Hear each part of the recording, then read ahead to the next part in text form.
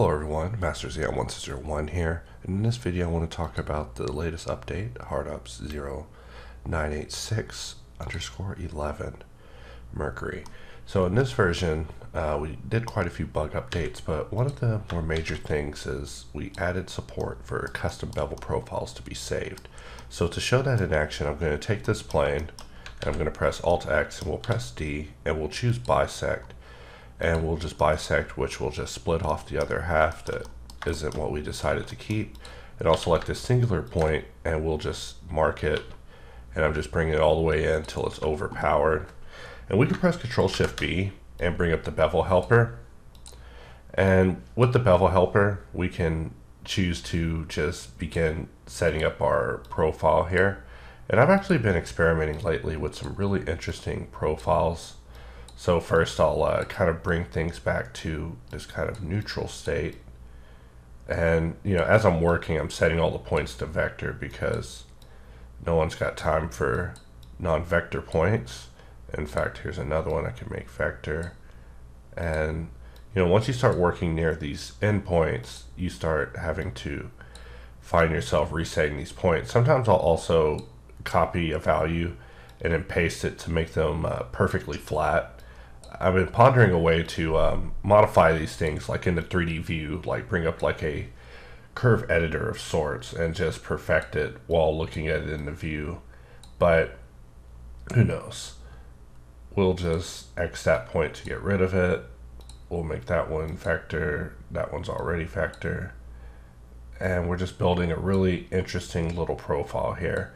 And as you can see, making a profile can be a little bit of work, you know just getting in here, just playing with profiles. But, you know, the results are so rewarding because you've basically modeled your bevel profile and, you know, it saves you a ton of work. So it really has changed the cylinoid game. In fact, there's a driver that we've been experimenting with for keeping the segments exactly the same amount as the points in the bevel profile. So I do want to show that in this video. So let's say that we didn't want to have to adjust these points to get it just right. So I'm going to right click this and we're going to choose to add driver and we'll change this to use self and we'll just clear this out and we'll just type in len for length self dot custom profile dot points and then we just press enter and we see that now it'll be set to exactly the amount of points that are set inside of profile. So as we further integrate this into hops, I'm already talking about how I want to have a driver that sets this up automatically. But now that we have this, you can see that I'm able to just adjust this on the fly. Also notice that down here, there's nothing additional added to the UI in the modifier panel itself for bevel. But if we were to press Control Shift B, we could actually bring up the bevel helper where we do have this option for save and load profile. So if you were to want to do that, we could just go under our preferences and under your preferences for hard ops, using the latest version, you'll have something called profile folder. And I actually have mine set to a location called profiles where I actually have just been saving my profiles. We'll just accept that and save our preferences.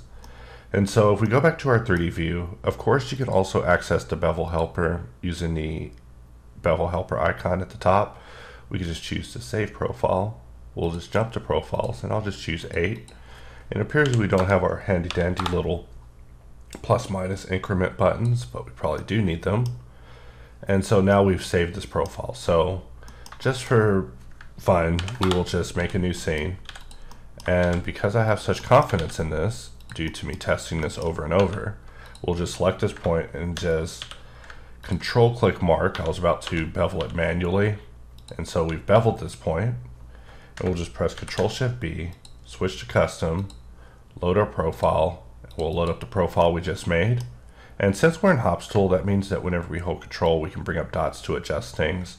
And so here we are just playing with this. So normally the next step from here would be to take this and screw it, which will spin it around.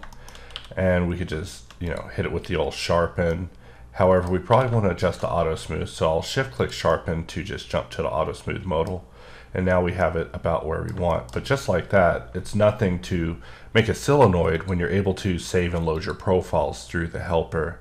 And also, I may see about getting these options added to. Actually, it looks like in our custom helper, they are added. So if you press Control tilde and you go into the modifier panel for hops, there is an option to save and load profiles. So you should be able to save and load profiles, just bring them up at your own whim. And I've been using them for all sorts of interesting little experiments. So in the testing of this, I've been making these like little rooms using profiles. So I'll press Alt X, bring up the mirror, and press D and change it to bisect. And we'll just bisect this, and I'll delete that interior face. And we'll go ahead and just delete this face as well.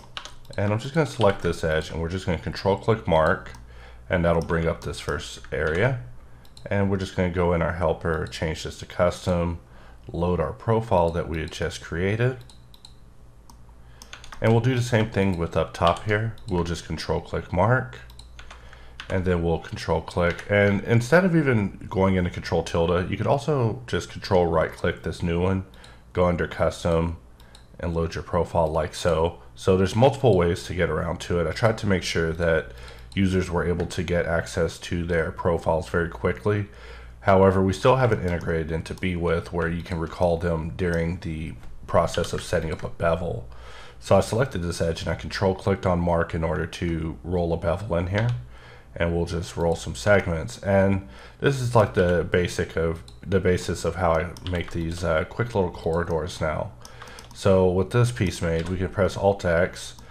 We can see that it's on bisect, which we don't want. I'll press X to reset and we'll just reset this over to the other side.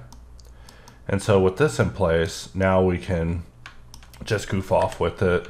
Me personally, I like grabbing the faces and just moving them out. Uh, I'll press Alt V B and just roll a blank light setup. And I don't even have to look at what the light setup is because I just want the lights themselves. But I see that I got a whole gang of area lights. So we're just going to bring these in. And I just want to show one of the new things that's also part of this update, and that is replacive blank light, which is where you can place the lights and then just have it be replaced. So we'll just scale some of these elements down, bring them in, maybe a clear track. You know, when we first made this, we didn't have tracking set up, and that was because I wanted something kind of similar to this in the future. And so now I do see that, you know, we probably are going to have to do some sort of toggle to avoid tracking in the event you don't want your rotation done when you're messing with such an example. I mean, I could just go in here and clear my track and reset the light. And you're probably wondering what the heck does this have to do with beveling? It doesn't. We'll just give this a blank material.